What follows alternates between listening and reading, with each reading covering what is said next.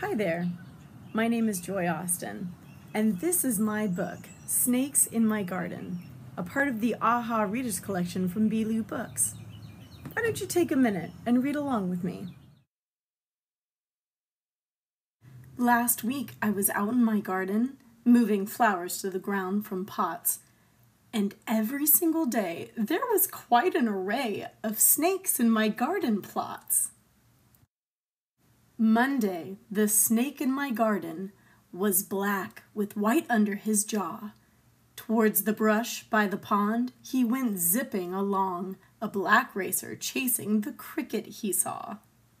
The longest black racer on record was six feet long. Tuesday, the snake in my garden was striped with red, yellow, and brown. He slithered through the grass, and I waved as he passed, a ribbon snake chasing frogs down. The ribbon snake is one of the only snakes that does not lay its eggs. Wednesday, the snake in my garden was bright orange with red spots, so nice. He looked so lovely there, I had to just stare at the corn snake searching for mice. The markings on the belly of the corn snake look like Indian corn. That's how they get their name.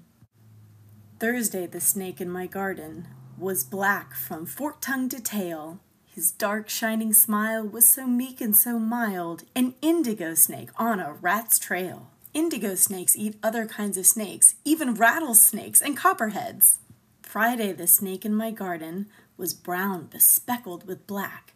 Almost seven feet long, he went slowly along, a gopher snake rummaging for rats. Gopher snakes are often mistaken for rattlesnakes because they shake their tails when they're scared. Today, the snake in my garden is tan with dark brown spots. With his sharp upturned nose and a hiss as he goes, the hognose snake hunts for toads. Hognose snakes play dead by flipping over and sticking out their tongues.